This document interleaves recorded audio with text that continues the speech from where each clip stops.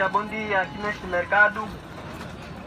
Nós viemos mais uma vez com a mensagem do Senhor, a mensagem de salvação. É uma mensagem muito urgente, porque estamos vivendo nos últimos momentos da história da Terra. Nós vamos falar um pouco a respeito dos dois grandes movimentos e os três decretos. Os três decretos. E falando a respeito dos dois grandes movimentos, o primeiro movimento que está em Apocalipse 13, Apocalipse 13, versículo 11, ali trata-se dos primeiro grande movimento do Apocalipse 13. E o Apocalipse capítulo 16 e o seu versículo 13 a 14. Ali está se referindo o primeiro grande movimento. E este é um movimento falso. É um movimento falso. É um movimento da imagem da besta. E o Apocalipse também nos revela o segundo movimento. Está em Apocalipse 18, que é o verdadeiro movimento do Apocalipse 18. E em Apocalipse 14, verso 12, ali está se referindo os dois grandes movimentos. E nós encontramos uma tríplice união dos três espíritos imundos semelhante a Arã de acordo com o Apocalipse 16, versículo 13 a 14. Então, estes três movimentos, esses dois movimentos, e nós encontramos também os três decretos. E por isso que nós estamos vivendo dentro do decreto dominical. O profeta João lhe foi revelado a respeito do decreto dominical. De acordo com Apocalipse 13, o decreto dominical. E este decreto dominical, o profeta João viu que o mundo inteiro se dividindo em duas grandes classes. Uma classe que recebe o selo do Deus vivo e uma classe que recebe o sinal da besta. Por isso o Apocalipse está ali mencionando o sinal da besta. Que nos últimos dias os habitantes da terra serão assinalados com o sinal da besta é que ninguém poderá comprar, ninguém poderá vender, senão aquele que tiver este sinal da besta. Por isso, falando a respeito dos três decretos, os três decretos que aqui está se referindo, o primeiro decreto saiu no dia 2 de março de 2020. E este decreto saiu pela Igreja Adventista do Sétimo Dia a lei 17.346 é uma lei de perseguição para o povo de Deus. E esta lei saiu pela deputada adventista, doutora Damaris Moura. Esta foi a sua lei. Por isso, este decreto é um decreto que saiu pelo Espiritismo então este é um período que a igreja adventista também uniu-se com o espiritismo. Este é o primeiro decreto que saiu no dia 2 de março de 2020. Lembrem-se a união dos três espíritos imundos semelhante a do Apocalipse 16, versículo 13. E o segundo decreto saiu no dia 20 de maio de 2020. Este é um decreto que saiu nesta data. É uma lei falando da encíclica Laudato Si. É um documento do Vaticano. Que este documento leva 100 páginas. Mas o fim de tudo é o domingo. Esta encíclica Laudato Si está falando, está se referindo do domingo, o primeiro dia da semana é que significa que o mundo inteiro tenha que obedecer e guardar o primeiro dia da semana, o domingo. Esta é a lei que saiu pelo Vaticano. Então, momento. O terceiro decreto saiu no dia 2 de junho de 2020. Então, neste período, foi o período que Donald Trump, presidente dos Estados Unidos, ele foi perante a imagem do Papa João Paulo II e ele adorou a imagem do Papa João Paulo II e depois volta para a Casa Branca e ele assina o decreto internacional, o decreto da imagem da besta, nesta data. E neste período, Donald Trump liberou 50 milhões de dólares para que todos os países do mundo inteiro promovam este mesmo decreto da imagem da besta. E foi período que as igrejas passaram a promover a liberdade religiosa, a falsa liberdade religiosa.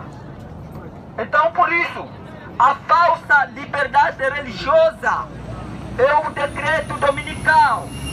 A falsa liberdade religiosa é o sinal da besta, porque tudo termina com o domingo. A falsa liberdade religiosa é o domingo, primeiro dia da semana, ser guardado. Por isso, ocorreu este período a educação do domingo. Passamos um período de educação, o decreto da educação, desde dia 2 de junho de 2020, quando saiu aquele decreto da imagem da besta. A partir deste momento começou a educação. E a educação correu durante três anos. Quais são os que precisam de serem educados? Será que são os católicos? Não! Não são os católicos que precisam ser educados. Quais são? Será que são as igrejas pentecostais? Não! Também não são eles que precisam ser educados. Quais são? As igrejas evangélicas? Não! Eles também não precisam ser educados. Então, quais são esses que precisam ser educados para guardarem o domingo? São os adventistas do sétimo dia que precisam ser educados para eles guardarem o domingo. Por isso que ocorreu este três anos de educação.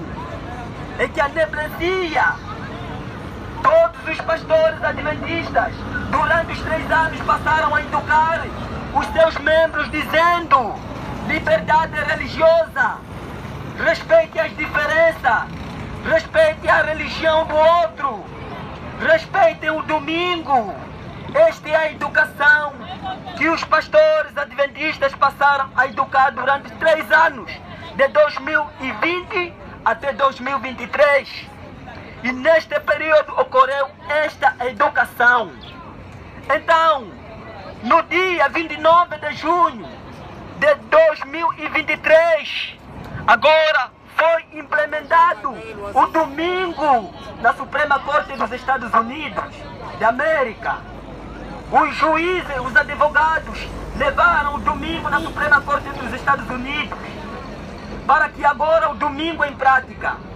Então, 2023, dia 29 de junho de 2023, começou a prática da guarda do domingo. E que significa que a partir deste momento, o domingo tem que ser guardado por todos. Então, esta é a razão pela qual nós viemos avisar a todos, neste exato momento, estamos vivendo no período do decreto dominical, a qual é o sinal da besta. O Apocalipse 13 fala que os habitantes da terra serão assinalados com o sinal da besta. Então, amados irmãos, neste exato momento, estamos neste período da falsa liberdade religiosa que as igrejas estão promovendo, a qual o Papa promove. Todas as igrejas promovem. A igreja adventista tem este departamento da falsa liberdade religiosa. E todos promovendo a falsa liberdade religiosa. A falsa liberdade religiosa é a imagem da besta. A falsa liberdade religiosa é o decreto dominical. A falsa liberdade religiosa é o sinal da besta. A falsa liberdade religiosa é o domingo. A falsa liberdade religiosa é a nova ordem mundial. Nós estamos vivendo um período estamos no período da nova ordem mundial. O decreto dominical é a nova ordem mundial. Por isso, o poderoso anjo do Apocalipse 18, neste exato momento, está em ação. O quarto anjo anuncia a queda de Babilônia no dia 2 de junho de 2020. É o período que as igrejas caíram por causa de promover a falsa liberdade religiosa. Todas as religiões promovendo a falsa liberdade religiosa fizeram parcerias com os demônios. Então, neste momento, Apocalipse 18 declara: caiu, caiu, a grande Babilônia se tornou morada de demônio. Coito de toda ave imunda, coito de todo espírito imundo e detestável. Mas o segundo aviso é: sai dela, povo meu, para não seres participantes dos seus pecados. Todos que guardarem o domingo receberão as sete últimas pragas. Todos que guardarem o domingo estão recebendo o sinal da besta. Domingo não é o dia do Senhor, mas o domingo foi a besta, o papado que trouxe do paganismo para os nossos dias atuais, trouxe para o cristianismo para ser o dia do Senhor. O domingo era o dia do sol, de acordo com Ezequiel capítulo 8, versículo 16. E a besta do Apocalipse 3, a qual se refere o papado, o Papa, a besta, ele trouxe este dia para ser o dia do Senhor. E as igrejas evangélicas batizaram o filho do papado, qual o filho do papado é o domingo. Então, o dia do Senhor é o santo sábado, de acordo com Gênesis capítulo 2, versículo 1 até 3. Deus trabalhou em seis dias e ao sétimo dia descansou. Êxodo 31 também declara que certamente guardareis os meus sábados, pois servirão também de sinal entre mim e vós, em todas as vossas gerações. Ezequiel capítulo 20, verso 20, do mesmo modo declara, certamente guardareis os meus sábados, pois servirão de sinal entre mim e vós. Então o sábado é o selo do Deus vivo. A todos que deixarem de obedecer a todos os mandamentos de Deus, receberão as sete últimas pragas. Os tais receberão o sinal da besta e receberão as sete últimas pragas que está mencionada no Apocalipse 16. Está mencionada as pragas que virão ao mundo inteiro. Então é a razão pela qual nós viemos avisá-lo para que quando chegar aquele momento, tu não digas que eu nunca ouvi este aviso. Estamos no período da última mensagem, a última mensagem do terceiro anjo, Apocalipse 14, versículo 9. A palavra de Deus declara: se alguém adora a besta e a sua imagem, recebe o seu sinal na testa ou na mão direita. Também o tal beberá o vinho da cólera da ira de Deus, a qual são as sete últimas pragas. De que forma adorarmos a besta? Adorando a besta. Se você permanecer nos templos católicos, você está adorando a besta. Como adorar a imagem da besta? Você permanecendo dentro das, dos templos adventistas, pentecostais, evangélicos, você está adorando a imagem da besta. Pois a imagem da besta é a união da igreja com o Estado. É uma tríplice união dos três espíritos imundos semelhante a Rã. O profeta João viu esta união. Ele viu sair da boca do dragão, Satanás, saiu o espiritismo. Da boca do, da besta saiu o catolicismo. Qual é o papado, o papa? Da boca do falso profeta, o protestantismo apostatado, saiu os três espíritos imundos semelhante a Arã. Então, neste momento, são esses três espíritos imundos estão unidos e se dirigem aos reis do mundo inteiro para pelejar contra o Deus Todo-Poderoso e contra o povo de Deus. A imagem da besta e a perseguição dos últimos dias. Então, por isso, o aviso final do Apocalipse 18, versículo 4: Sai dela, povo meu, para não participar dos seus pecados, para não receber as pragas do Apocalipse 16. Este é o aviso final. Estamos neste período do decreto dominical, o qual as pessoas passam a ser sinalados com o sinal da besta. Este é os dois grandes movimentos a qual você ouviu. O primeiro movimento, o movimento da imagem da besta, a qual é um movimento falso, que está mencionado no Apocalipse 13, verso 11, até em diante, até o versículo 18. E Apocalipse 16, versículo 13 a 14. Ali está mencionado os dois, o, o, o primeiro movimento falso e o movimento verdadeiro de Deus está mencionado no Apocalipse 18 Apocalipse 14, verso 12. Os verdadeiros filhos de Deus estarão fora dessas igrejas, porque as igrejas tornou moradas de demônios. Os verdadeiros adventistas do sétimo dia estarão fora dessas igrejas caídas. Estarão fora dessas igrejas unindo com a nova liderança da Igreja Adventista do Sétimo Dia. Esta é a razão pela qual que nós anunciar este aviso final. Este é o momento da imagem da besta. A perseguição começou. Se ainda aqui tem alguém adventista do sétimo dia. Os adventistas do sétimo dia foram ensinados que a todos aqueles que trabalharem no sábado estão recebendo o sinal da besta. Mas revelação de Deus, neste exato momento, na hora final, diz a todos aqueles que pararem de trabalhar no domingo, a todos aqueles que descansarem no domingo, estão recebendo o sinal da besta. O sinal da besta não é nada o microchip. O sinal da besta não é o código de barra. Mas o sinal da besta é a guarda obrigatória do domingo em lugar do santo sábado.